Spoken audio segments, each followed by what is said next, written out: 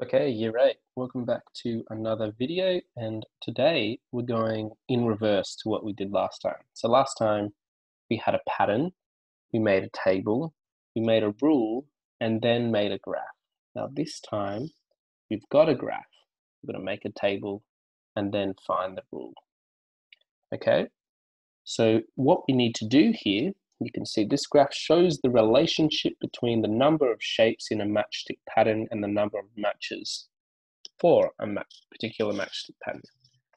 Okay, and we need to construct a table of data to start off. So the way I'm going to draw this table, we're going to have an X row, we're going to have a Y row, and there we have a table. Okay, we start at one, and you can see there's a point for every sort of value of x here. So we can just go one, two, three, four, and how many points do we have? We go up to five. Five. Okay, now to finish off our table, we just need to put in the corresponding y value or vertical part of each of these points that are on our graph. So if we go up for x is 1, the y value of that point is 5. So in our table, we just write that underneath in the y row as such. Uh, we can also then uh, do the rest for the same. So here for 2, it's going to be 8. For 3, it's going to be 11. You can see it's halfway between the 10 and 12 there.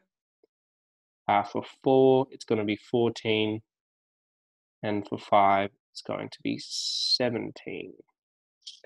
Okay, so that is part A. We've created a table here.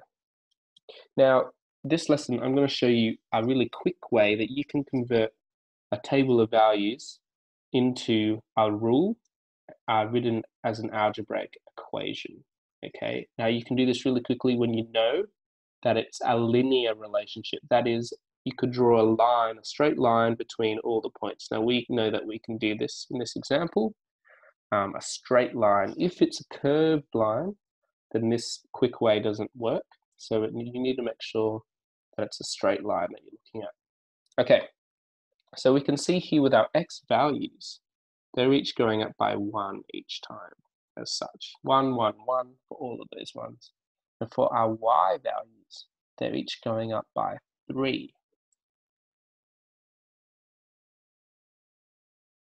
Okay, etc., etc. Each one, there's a gap of three between them. Now that is going to be important later on. And what we're trying to do is we're trying to find uh, what is the relationship between these points. Now, if you look at the first point, one and five, you can see, well, okay, could be five times x. So y is five times x. But that doesn't work for our next point. Two times five is not eight, and three times five is not 11. Um, so we could try something else. Maybe it's 4 times x plus 1, but you can see that's also not going to work. 2 times 4 plus 1 doesn't equal 8, nor does it 3 times 4 plus 1 equal 11. So you've got to kind of think, well, how do I know how many times I'm going to multiply x, and then what am I going to add, or what am I going to subtract um, to find my algebraic rule? And the key is, okay, if this is going up by 1, and this is going up by 3, then the multiplication factor is going to be 3. Okay, in our rule, it's going to be 3 times x plus something. Okay, and I know that because the difference between each one, the y values, is 3. Okay, later on we're going to be talking about as the slope of a line or the gradient. Um, but for now, we're just going to look at these tables. Okay, so let's see, how does that work? If I multiply x by 3, okay? Uh, for one, I get three. How many more do I need to get five? Well, I have to add two. So if I times the x by three and then add two, let's see if that works for the next value.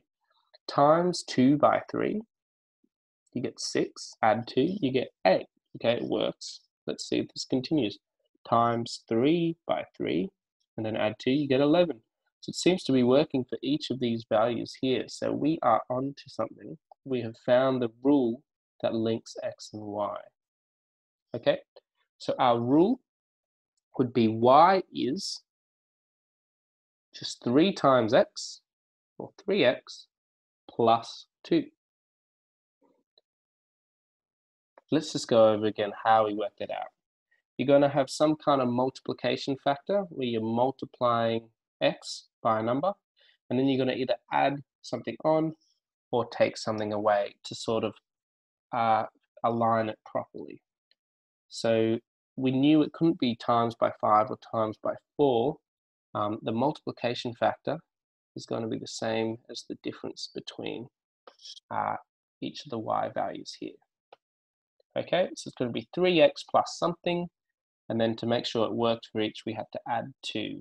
And then you can just check your answer once you've done that. Okay, so the quick way, find the difference between the x's, find the difference between the y's, and that difference here will give you your multiplication factor in front of the x so that you can create this rule. Okay, now if you have any questions, remember contact me in Microsoft Teams. Good luck with the questions today, and I'll see you in the next video.